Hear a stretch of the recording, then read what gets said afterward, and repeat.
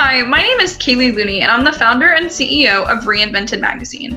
Right now, we are celebrating Hispanic Heritage Month, and as a Latina, this celebration is pretty near and dear to my heart. My family is actually from Ecuador. My mom was born there and moved over to the United States when she was really little, making me and my brother first gen on her side. As a Latina in STEM, I like to use this month as a time to spotlight and raise awareness for the stories of other Latinas in STEM like myself. Did you know that only 2% of all science and tech jobs are held by Latinas? We need to change that. As someone who's part of that 2%, I figured I'd quickly share a little bit about my STEM story and where I'm at today.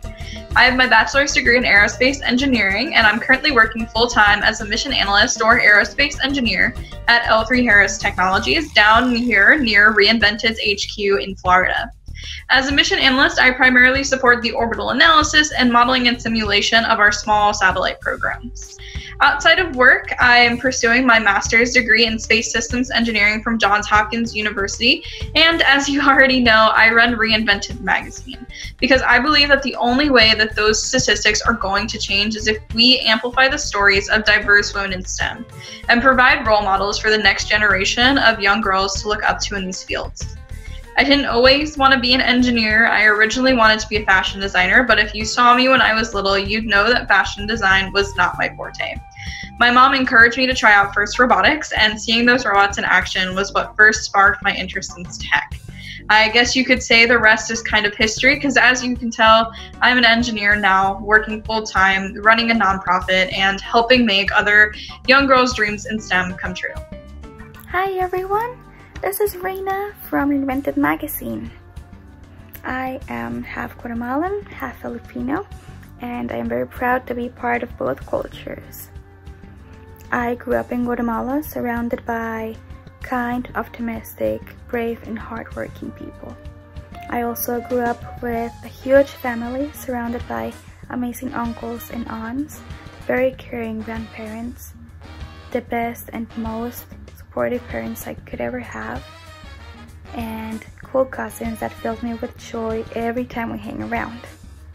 Even though I grew up in this rich environment, I always struggled with my identity. I was never Hispanic enough as my friends, and I was not Hispanic enough as my cousins.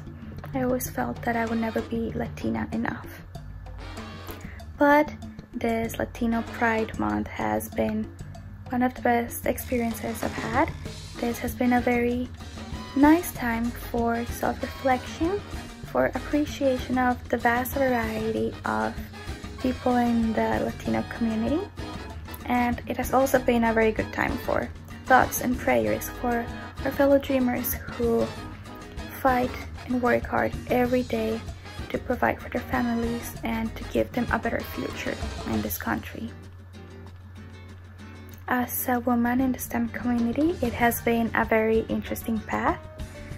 As I was growing up, I never wanted to be a scientist, even though I was very good in mathematics and biology. I never wanted that for me until recently. Since I joined the Reinvented magazine, I have been surrounded by amazing women who inspire me every day to do better and to fight for what I want. I am very glad to be part of this team and I am excited to see what comes in the future for Reinvented Magazine. Hispanic Heritage Month is an annual celebration of the history and culture of U.S. Latino and Hispanic communities. The term Hispanic or Latino refers to a person's culture or origin, regardless of race. The event, which spans from September 15th to October 15th, commemorates how those communities have influenced and contributed to American society at large.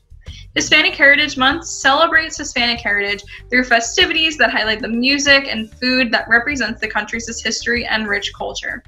September 15th is the anniversary of independence for Costa Rica, El Salvador, Guatemala, Honduras, and Nicaragua, which is why the celebration of Latin figures and culture starts on that date.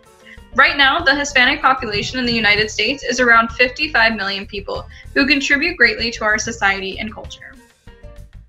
Here's a glimpse of some amazing Latinas who have conquered the world of STEM. Elena Ochoa joined NASA in 1988 as a research engineer at Ames Research Center and moved to Johnson Space Center in 1990 when she was selected as an astronaut. She became the first Hispanic woman to go to space when she served on the nine day STS 56 mission aboard the Space Shuttle Discovery in 1993.